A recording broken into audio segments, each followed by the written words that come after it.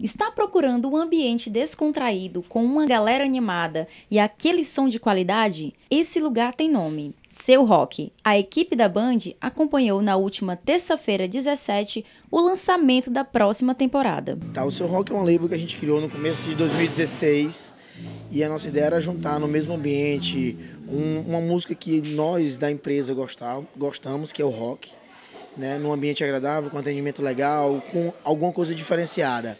Então a gente juntou pessoas de, de, de várias, de uma faixa etária diferente, desde o jovem de 18 anos, a, por exemplo, um coroa, meu tio, de 55 anos, e falou assim, pô, o que é que tá faltando numa festa de rock em Teresina?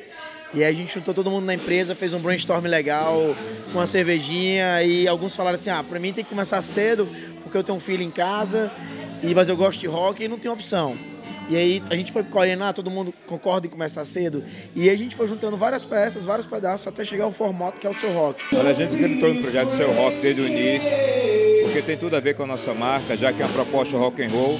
E a nossa marca Jaguar de Rover é uma marca britânica. E nada melhor que os britânicos para saber também, para saber fazer rock, né? E tem tudo a ver com o nosso público-alvo, usuários dos nossos produtos. E a gente acreditou desde o início e estamos muito felizes por dar continuidade nesse projeto Seu Rock. Eu tô achando incrível, é totalmente diferente do que eu costumo participar lá no Rio.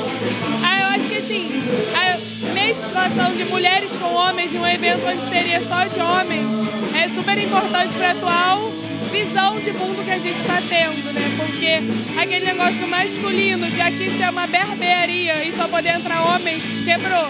Eu acho um evento muito incrível e que está sendo bom para quebrar essa barreira.